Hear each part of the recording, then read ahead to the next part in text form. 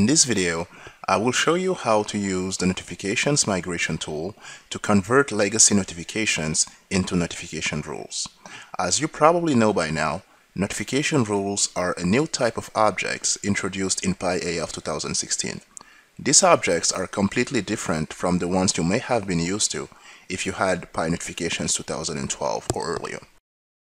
After installing PI Notifications 2016 R2 using the PI AF Services install kit, you will have the option to run the notifications migration utility right away.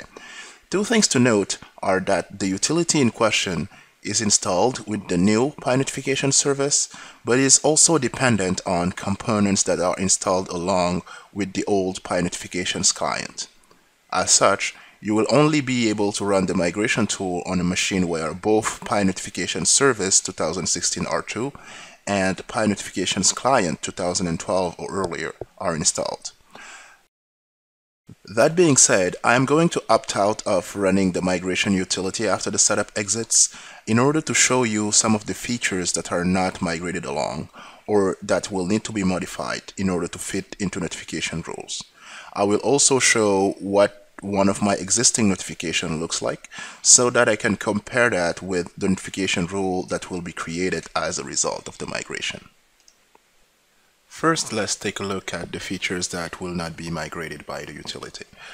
First of all, and this will not be the case for my system because I don't have any, but if you have any notifications that use alarm functions, those will not be migrated by the utility. Also, subscribers using the OCS or Office Communication Service delivery channel that was used to send messages to things like Skype for Business or Lync, also previously known as Microsoft Communicator, will not be migrated along with their notifications.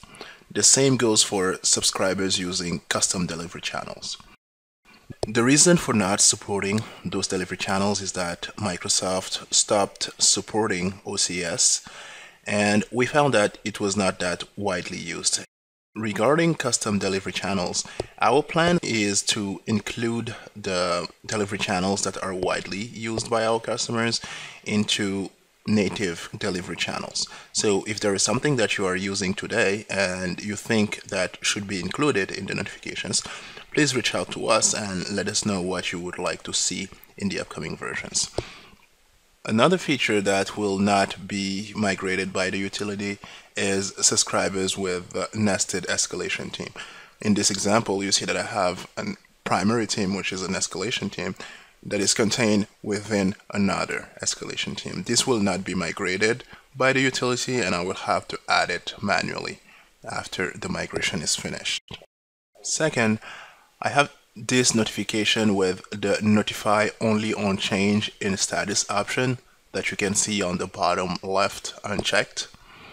This feature is not supported in notifications 2016 R2. This was mainly a way for users to resend notifications without requiring acknowledgement. The new version of notifications supports that feature natively, removing the need for such an option. Third, certain periodic schedules are not supported anymore. For example, if you look at this daily periodic configuration or this monthly one, this will have to be converted to something that is supported by the PI analysis service. Indeed, the notifications migration utility will convert this whole trigger into event frame generation analysis. So this will have to be converted to something that the PI analysis service knows how to parse. As you will see while we run the migration, the tool will prompt you to change this to a supported schedule. Finally, certain trigger conditions cannot be migrated as they are.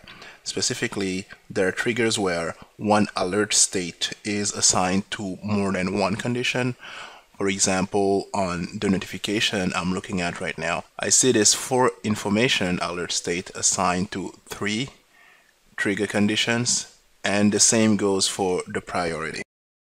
I would be in a similar situation if I had alert states from different state groups assigned to different conditions for the same trigger. For more information on alert states and state groups, you can refer to the PI Notifications 2012 documentation. Now that we have looked at some features that would not be migrated as is, let's look at the notification that will actually be migrated without changes. This temperature alert notification is set to trigger for temperatures greater than 35 and 45 degrees Celsius with the normal and high priorities respectively associated to those conditions. You will notice that there are also alert states that are associated to these triggers conditions and we will see how that will be translated in the result notification rule and analysis. This notification also has a bit of history associated to it that we will compare to the event frames that the migration utility will generate. Just so that it is clear that we are not cheating, let's review the target element for this notification and make sure it doesn't contain any notification rule or analysis. There are also no event frames associated to the element in question. One last thing that I want to show you before performing the migration is the state of this AF server before the migration is performed. If I use the AF diag utility to dump the current configuration of this server, I'll see that the notifications are enabled and the notification rules are as well. This server is in what we call a migrating state. In that state, I can create and edit notification rules, but if I were to go and try to create a new notification, I would get an error message about notifications being in read-only mode on this PI AF server because the notification and notification rules are both enabled. In order to get out of that state, I'm going to perform the actual migration. I can run the notifications migration utility from PI System Explorer under Tools Notifications Migration. This will bring up the same utility as it would have had if I had run the migration right after installing the notification service. One thing to note, and this will become obvious as we go through the migration, is that the tool is meant to be as self-explanatory as possible. As such, we'll get dialogues with detailed messages about what is about to be done and also the expected outcome from it. Once I start the tool, I have the choice between running the migration for all legacy notifications now, deleting the legacy notifications if I'm not interested in them and start creating and using notification rules right away. I can also go back to what is called an unmigrated state and stop using the notification rules. I will run the migration the first dialog I get is a warning about potential irreversible changes to the AF server and I'm advised to take a backup. I have a good backup so I'm just going to acknowledge this warning. Next, I have the choice between migrating the configuration only or both the configuration and the history. I'm going to migrate, let's say, a month of history along with my configuration.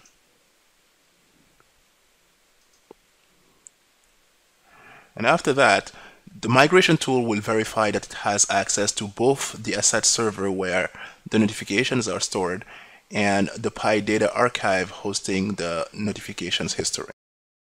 I also have a warning that my subscribers using unsupported delivery channels will not be carried along. Once I start the migration, the tool will perform one first pass where it tries to migrate all the notifications as it can.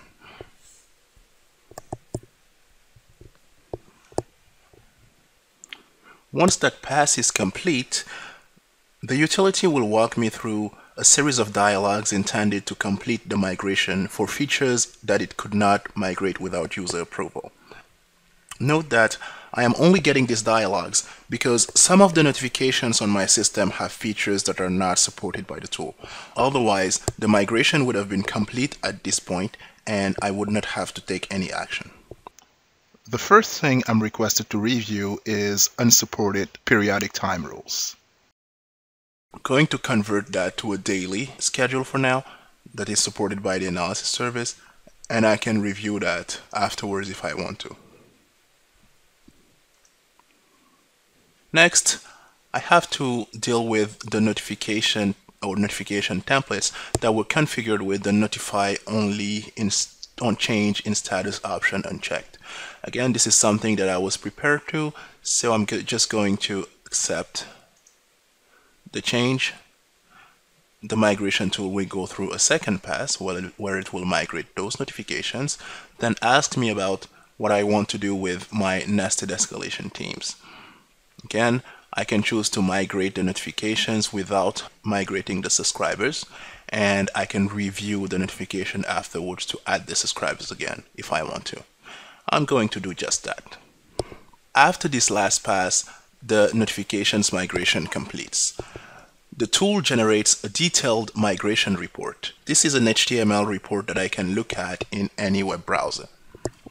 It consists in a summary followed by three sections one about the notification templates, one about the notifications, and one last section that would have included the notification rules and analysis that were automatically created. For the first two sections, I have potentially three subsections. One about the notifications that could not be migrated due to errors. In this case, my notification was just misconfigured and there was no point in migrating it. One about the notifications or notification templates that were migrated with an altered configuration and I have details about which changes had to be made. And finally, one section about the notifications that could be migrated successfully. I have details about the event frames that were created and also the history in instances that were processed. I can review this report take action if I need to and evaluate whether or not I am satisfied with the notification rules that were created. If you happen to run into problems during the migration and need to contact OSIsoft Technical Support, please make sure to include this report in your initial communication. Now that my migration is complete, I can exit the migration tool and go review my notification of interest. You will notice that the notification in itself is untouched. However, if I go to the target element and look under the notification rules tab, I will see that a new notification rule was created and that its criteria reference an analysis. If I take a closer look at the analysis in question, I will notice that it matches my previous notification trigger exactly. Furthermore, the alert states were converted to start trigger name, so respectively high and very high here, and the priorities were converted to severities. I also know that this notification had some history associated to it, so I'm going to go and look at the event frames that were created as a result of the migration.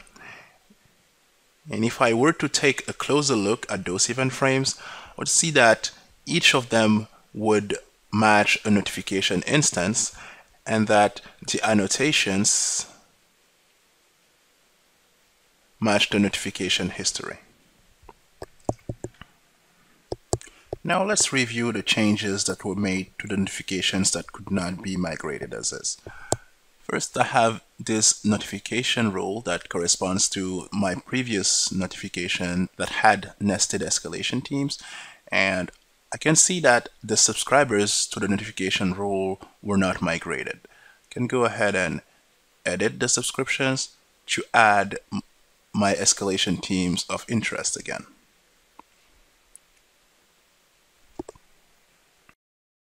For the one that had the option to notify only on change unchecked, the option is simply not available anymore. I have a resend interval that I can change if I want to. For my notification that had an unsupported combination of trigger conditions, state groups, and priorities, can see that it was migrated with the second and third occurrence of the for information alert state renamed to for information 1 and 2. The priorities were translated to severities as expected. Once I finish reviewing the result of the migration, I can run the migration tool again in order to complete it. I now have a couple more choices. I can rerun the migration for the notifications that previously encountered errors, provided that I went and fixed the errors in question. I can run the migration again for all legacy notifications. Be careful that if you do that, you may end up with duplicate notification rules and analysis if you had not deleted the ones that were previously created. I can revert and go to an unmigrated state.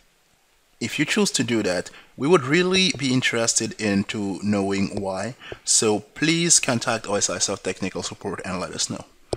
In my case, I'm going to complete the migration, which will delete all legacy notifications and only let me use notification rules in the future. So I click next. I once again get a warning to have a good backup. Because I'm not migrating any history from the data archive this time, the tool only has to verify the access to the asset server. And one last warning, that all of my legacy notifications will be deleted, which completes my migration. Once this completes, if I look at the object counts on the server, can verify that I indeed do not have any legacy notification templates or legacy notifications anymore, but I do have a couple of notification rule templates and notification rules. Finally, if I look at the output of AFDiag again, see that the legacy notifications are now disabled while notification rules are enabled.